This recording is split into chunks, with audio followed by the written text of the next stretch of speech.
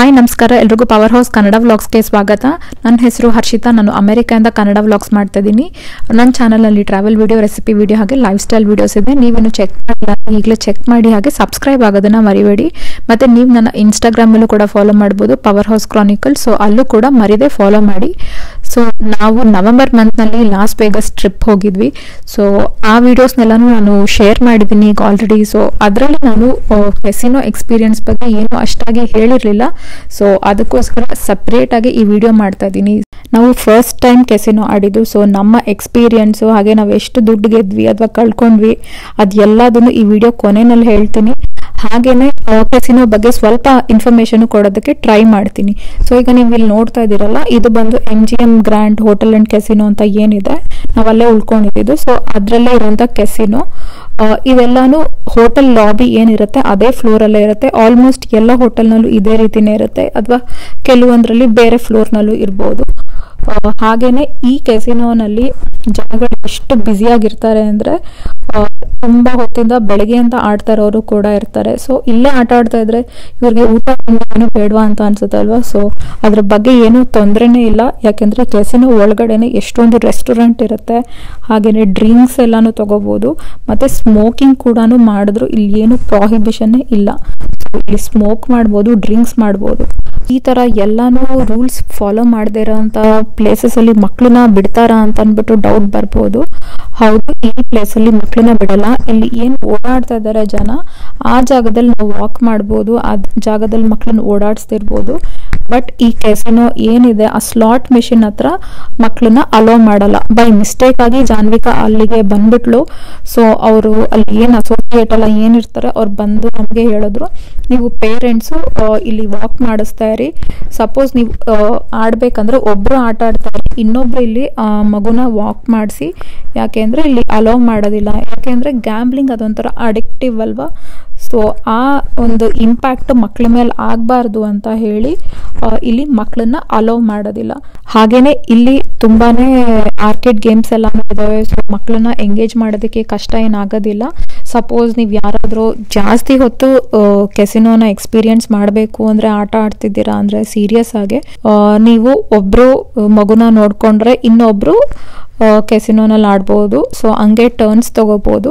But ನಮಗೆ ಅಷ್ಟೊಂದೆಲ್ಲ ಅವಶ್ಯಕತೆ ಇರಲಿಲ್ಲ. ಯಾಕೆ ಅಂದರೆ ನಮಗೆ ಅಷ್ಟೊಂದು ಟೈಮ್ ಇರಲಿಲ್ಲ ಆ್ಯಂಡ್ ಆಡೋ ಇಂಟ್ರೆಸ್ಟ್ ಕೂಡ ಇರಲಿಲ್ಲ ಕೆಸಿನೋನ ಸೊ ನೀವು ನನ್ನ ಲಾಸ್ ವೇಗಸ್ ವ್ಲಾಗ್ಸ್ನೆಲ್ಲಾನು ನೋಡಿದರೆ ನಿಮಗೆ ಗೊತ್ತಾಗುತ್ತೆ.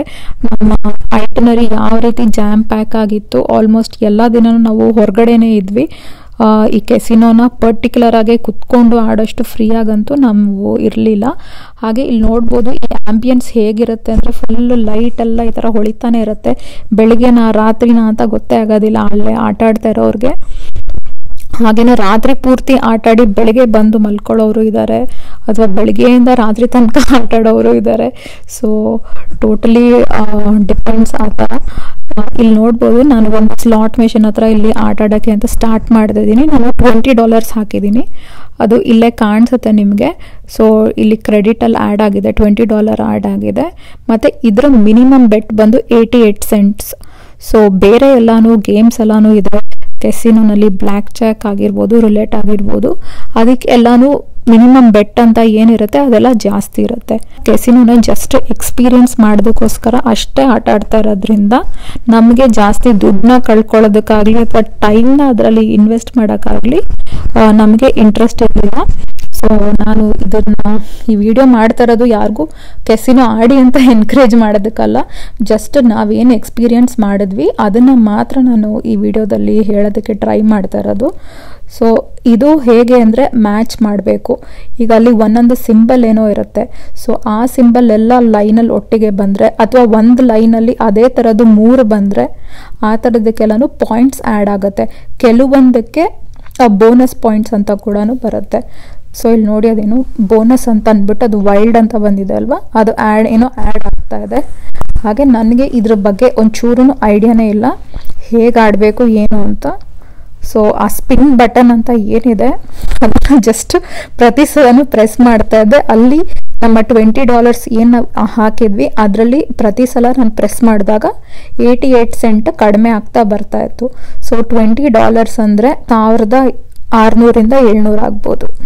ಒಂದೊಂದು ಬೆಟ್ಟು ಏಯ್ಟಿ ಏಯ್ಟ್ ಸೆಂಟ್ ಅಂದರೆ ಸೆವೆಂಟಿ ಫೈವ್ ರುಪೀಸ್ ಅಷ್ಟು ಆಗುತ್ತೆ ಇಂಡಿಯನ್ ಕರೆನ್ಸಿನಲ್ಲಿ ಸೊ ನನ್ನ ಟ್ವೆಂಟಿ ಡಾಲರ್ಸ್ ಏನಿದೆ, ಅದು ಬೇಗನೆ ಖಾಲಿ ಹೋಗ್ತಾ ಇತ್ತು. ಬಟ್ ಇದರಲ್ಲಿ ಬೋನಸ್ ಪಾಯಿಂಟ್ಸ್ ಅಂತೆಲ್ಲ ಏನೇನು ಆ್ಯಡ್ ಆಗ್ತಾ ಇತ್ತು ಅದೂ ಎಲ್ಲ ಕ್ರೆಡಿಟ್ಗೆ ಸೇರ್ತಾ ಇತ್ತು. ಹಾಗಾಗಿ, ನನಗೆ ಟ್ವೆಂಟಿ ಡಾಲರ್ ಜೊತೆ ಇನ್ನೂ ಎಷ್ಟೊಂದು ಬೋನಸ್ ಪಾಯಿಂಟ್ಸ್ ಎಲ್ಲ ಆ್ಯಡ್ ಆಯ್ತಲ್ಲ? ಸೊ ನನಗೆ ಇನ್ನೂ ಒಂದ್ಸಲ ಎಲ್ಲ ಸ್ಪಿನ್ ಮಾಡೋದಕ್ಕೆ ಚಾನ್ಸ್ ಸಿಗ್ತಾ ಇತ್ತು.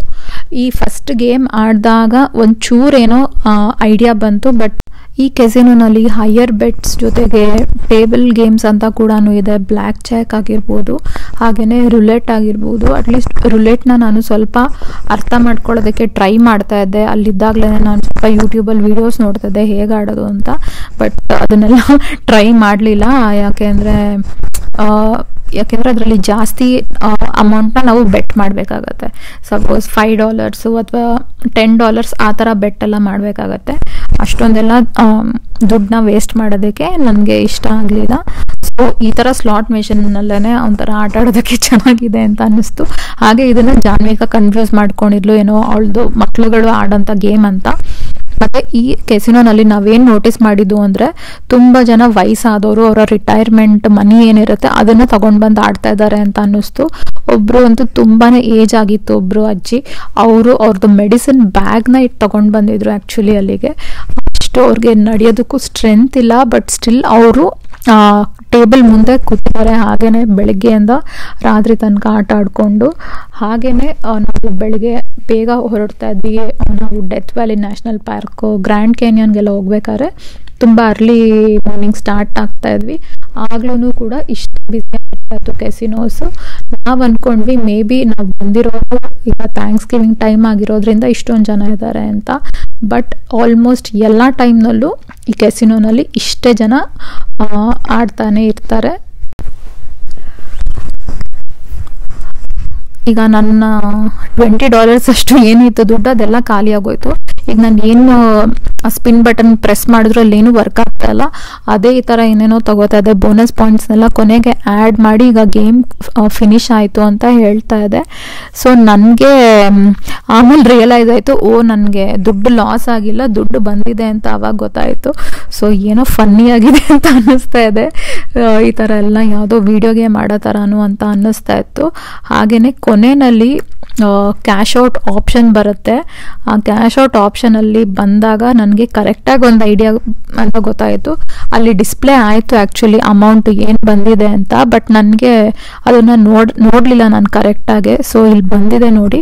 So thirty one point five two thirty one point five two dollars ಅಷ್ಟು ಬಂದಿದೆ.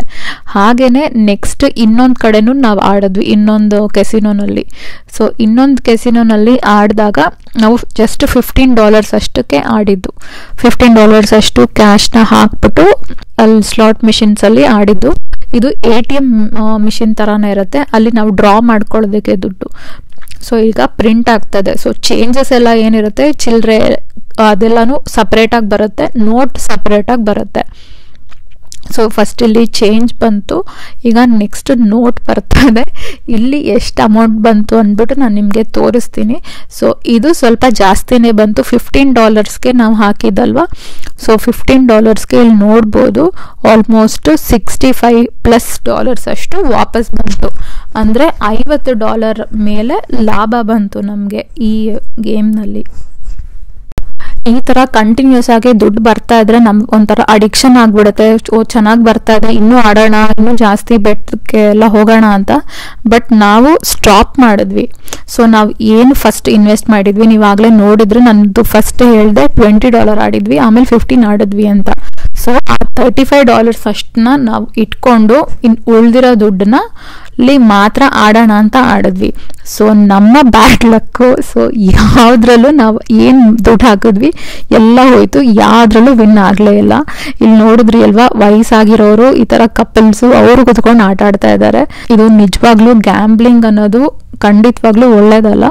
ನಾವು ಏನು ದುಡ್ಡು ಕಳ್ಕೊಳ್ಳಿಲ್ಲ. ಸೊ ಏನು ಬಂತು ಪ್ರಾಫಿಟ್ ಅದು ಅಲ್ಲಿಗೆ ಹೊಟ್ಟೋಯ್ತು ಬಟ್ ಯಾರಾದರೂ ಇದನ್ನ ಸೀರಿಯಸ್ ಆಗಿ ತಗೊಂಡು ಫುಲ್ ಟೈಮ್ ಆಗಿ ಗ್ಯಾಂಬ್ಲಿಂಗ್ ಅಡಿಕ್ಷನ್ ಆಗಿದ್ರೆ it is not at all good ಹಾಗೆ ಇಲ್ಲಿ ನೋಡ್ಬೋದು, ನಾವು ಏರ್ಪೋರ್ಟ್ ಅಲ್ಲಿ ಇದೀವಿ. ಸೊ ಇದು ಏರ್ಪೋರ್ಟ್ ಇದೊಂಥರ ಅಟ್ರಾಕ್ಟ್ ಮಾಡ್ತಾ ಇದ್ದಾರೆ ಅವರು ಜನಗಳನ್ನ ಸೊ ನೀವು ಊರಿಗೆ ಹೋಗ್ತಾ ಇದ್ದೀರಾ ಅಂದ್ರೆ ಕೊನೆದಾಗ್ಲೂ ಏನೋ ಒಂಚೂರು ಆಡ್ಬಿಟ್ಟು ಹೋಗಿ ಅನ್ನೋ ತರ ಇಲ್ಲಿ ಏರ್ಪೋರ್ಟ್ ನಲ್ಲೂ ಕೂಡ ಇದೆ. ಈ ಕೆಸಿನೋನಲ್ಲಿ ನಾವು ಒಳ್ಳೆ ಅಮೌಂಟ್ನ ಗೆದ್ರೆ ಅದನ್ನ ಮತ್ತೆ ಇನ್ನೊಂದು ಆಟ ಆಡಿ ಕಳ್ಕೋಬಾರ್ದು ಅಂತ ಇದ್ರೆ ಈ ತರ ವಿನ್ನರ್ಸ್ ಬ್ಯಾಂಕ್ ಅಂತ ಒಂದು ಸಿಗುತ್ತೆ. ಸೊ ಅದಕ್ಕೆ ಕೀ ಕೂಡ ಇರುತ್ತೆ. ಆ ಕೀನ ಯೂಶಲಿ ನಾವು ಮನೆಯಲ್ಲೇ ಬಿಟ್ಬಿಟ್ಟು ಜಸ್ಟ್ ಅದನ್ನ ವಾಲೆಟ್ ತರ ಏನಿದೆ ನೋಡೋದಕ್ಕೆ ಅದನ್ನ ತಗೊಂಡೋಗಿ ಅದ್ರ ಒಳಗಡೆ ದುಡ್ಡು ಹಾಕಿದ್ರೆ ಮತ್ತೆ ನಾವು ಅದನ್ನ ಆಚೆ ತೆಗೆಯೋದಕ್ಕಾಗೋದಿಲ್ಲ ಸೊ ಅದನ್ನ ಓಪನ್ ಮಾಡ್ಬೇಕಂದ್ರೆ ನಾವು ಮನೆಗೆ ಬಂದು ಆ ಕೀ ಮೂಲಕನೇ ಓಪನ್ ಮಾಡಬೇಕು. ಸೊ ಈ ರೀತಿ ಅಲ್ಲಿ ಸೇವ್ ಮಾಡ್ಕೋಬಹುದು ಅಂತ ಅನ್ಸುತ್ತೆ. ಬಟ್ ನನ್ಗೆ ಇನ್ನೊಂದು ಡೌಟ್ ಬರುತ್ತೆ. ಗೆದ್ದಿರೋ ದುಡ್ಡನ್ನ ಅದ್ರೊಳಗಡೆ ಹಾಕ್ಲೇ ಇಲ್ಲ ಅಂದ್ರೆ ಹಾಗಾದ್ರೆ ಪರ್ಪಸೇ ಇರೋದಿಲ್ಲ ಅಂತ. ಬಟ್ ಸ್ಟಿಲ್ ಕೆಲವರು ತುಂಬಾ ಫೋಕಸ್ಡ್ ಆಗಿ ಕೆಸಿನೋನ ಒಂಥರ ಸೀರಿಯಸ್ ಆಗಿ ತಗೊಂಡು ಮನಿ ಅರ್ನ್ ಮಾಡ್ತಾ ಇದ್ದಾರೆ ಅಂದರೆ ಅವ್ರಿಗೆ ಇದು ತುಂಬ ಹೆಲ್ಪ್ಫುಲ್ ಅಂತ ಅನ್ಸುತ್ತೆ. ಸೊ ಇದೇನೋ ಈ ಟಿಪ್ನ ನಾನು ನಿಮ್ಮ ಜೊತೆ ಶೇರ್ ಮಾಡಬೇಕಂತ ಅನ್ನಿಸ್ತು. ಅದಕ್ಕೆ ಶೇರ್ ಮಾಡಿದೆ. ಹಾಗೇ ನಾವು ಟೋಟಲ್ ಆಗಿ ಇನ್ವೆಸ್ಟ್ ಮಾಡಿದ್ದು ನಮ್ಮ ಕೈಯಿಂದ ಏನು ದುಡ್ಡು ಹಾಕಿದ್ದು ಅಂದರೆ ಜಸ್ಟ್ ಥರ್ಟಿ ಫೈವ್ ಡಾಲರ್ಸ್ ಅಷ್ಟೇ ಕೈಯಿಂದ ಹಾಕಿದ್ದು. ಅದರ ಮೇಲೆ ಪ್ರಾಫಿಟ್ ಬಂದು ಸೆವೆಂಟಿ ಡಾಲರ್ಸ್ ಅಷ್ಟು ಮೇಲೆ ಬಂತು. ಬಟ್ ಆ ಸೆವೆಂಟಿ ಡಾಲರ್ಸ್ ಬಂದಿದ್ದು ಹೋಯ್ತು.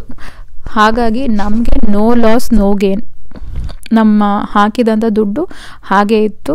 ಸೊ ನಾವು ಎಕ್ಸ್ಪೀರಿಯನ್ಸ್ ಮಾಡಿದಲ್ವ? ಹಾಗಾಗಿ ಕಳ್ದೋಗಿರೋಂಥ ದುಡ್ಡು ಬಗ್ಗೆ ನಮಗೇನು ಅಷ್ಟು ಬೇಜಾರಿಲ್ಲ. ಸೊ ಇದು ನಮ್ಮ ಎಕ್ಸ್ಪೀರಿಯನ್ಸ್ ಆಗಿತ್ತು. ಕೆಸಿನೋ ನಿಮ್ಮೆಲ್ಲರಿಗೂ ಈ ವಿಡಿಯೋ ಹೇಗೆ ಅನ್ನಿಸ್ತು, ನಿಮ್ಗೆ ಇಷ್ಟ ಆಗಿದ್ರೆ ಲೈಕ್ ಮಾಡಿ ಶೇರ್ ಮಾಡಿ, ಹಾಗೆ ಸಬ್ಸ್ಕ್ರೈಬ್ ಆಗೋದನ್ನು ಮರಿಬೇಡಿ. ಮತ್ತೆ ಮುಂದಿನ ವಿಡಿಯೋದಲ್ಲಿ ಸಿಗ್ತೀನಿ. ಅಲ್ಲಿ ತನಕ ಎಲ್ಲರೂ ಸೇಫ್ ಆಗಿರಿ, ಖುಷಿಯಾಗಿರಿ. ಬಾಯ್